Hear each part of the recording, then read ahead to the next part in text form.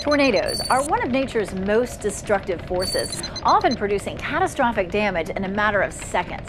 Tornadoes are born from rotating thunderstorms. You can see the rotation here at the base. The next step is a funnel cloud that begins to form. The National Weather Service issued a tornado warning, and now, on average, you have less than 15 minutes to seek shelter from a violent thunderstorm like this one. Oh, look at this. We have debris.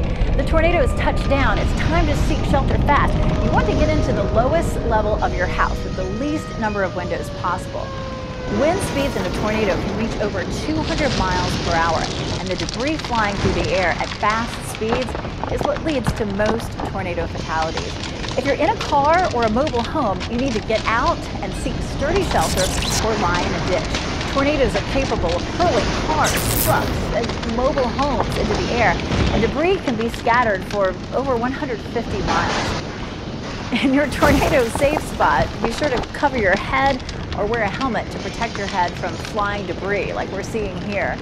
While most tornadoes travel less than a mile, some can travel 50 miles, and this one is headed right for us. So we need to head to our safe spot fast. Let's go, guys.